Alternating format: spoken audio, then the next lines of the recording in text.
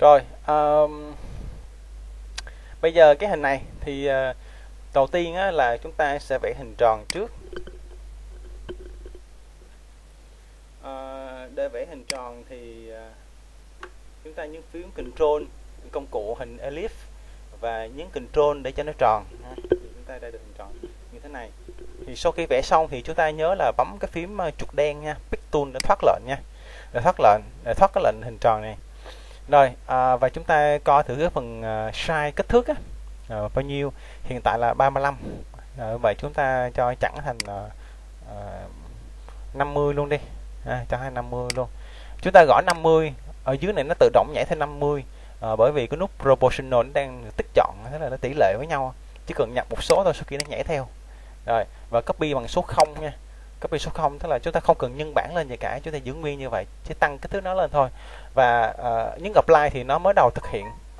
Những apply thì nó mới đầu thực hiện. Apply thì nó mới to là 50 rồi như vậy là chúng ta xong được cái hình tròn này rồi.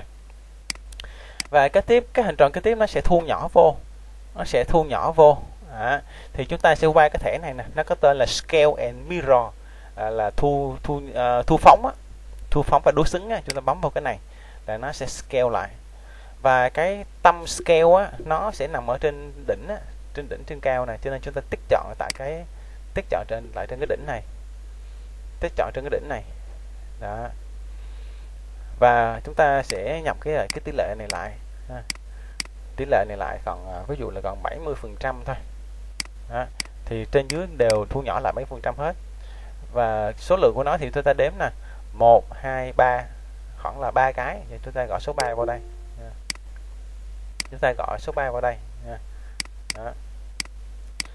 như vậy là 70 phần trăm ha và copy là số 3 copy một số 3 rồi uh, nhưng mà chúng ta cứ làm thoải mái và chưa nhấn apply thì nó vẫn chưa có tác dụng đâu.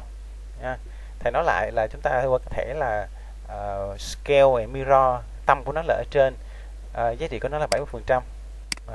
Và copy bằng ba cái và nhấn apply cái là nó ra luôn. Đó, ha. Rồi sau đó chúng ta ngồi tô màu thôi. Ví dụ cái này là màu vàng. Đó, màu vàng rồi cái kế tiếp á, là trên này thì chúng ta cho nó màu xanh. Ha, rồi kế tiếp cái này là màu vàng. Rồi, cái này là màu xanh. Đó như vậy là xong. Nha. Rồi thầy lưu phim lại.